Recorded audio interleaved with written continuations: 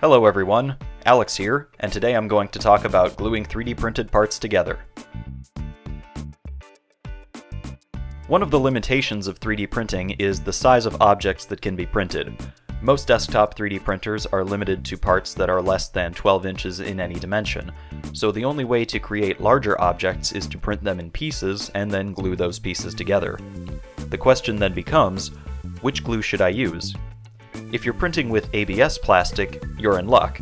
ABS plastic dissolves in acetone, which means you can create what's called an ABS slurry to chemically bond two ABS parts together, and this is a tried and true method for gluing ABS.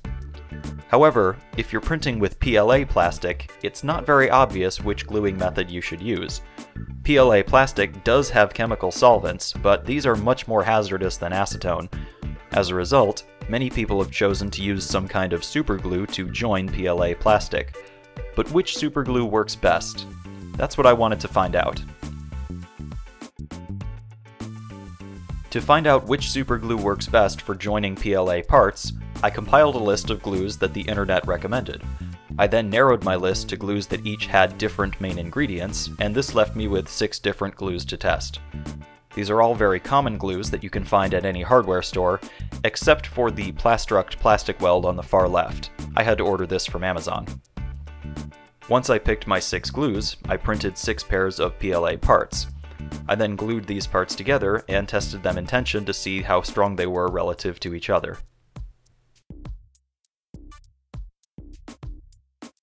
The test results are shown here in this stress-strain plot. As you can see, the winner by far was the Loctite Gel Control, which was a little surprising to me because it really is an all-purpose glue, whereas the epoxies are specifically designed to bond plastic.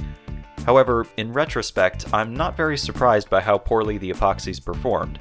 I've tried to use epoxies on PLA before, but they ended up peeling off like a skin once they dried, and the same thing happened in these tests. Based on these results, it seems that the generic Loctite superglue is the best choice for joining PLA parts. Thanks for watching.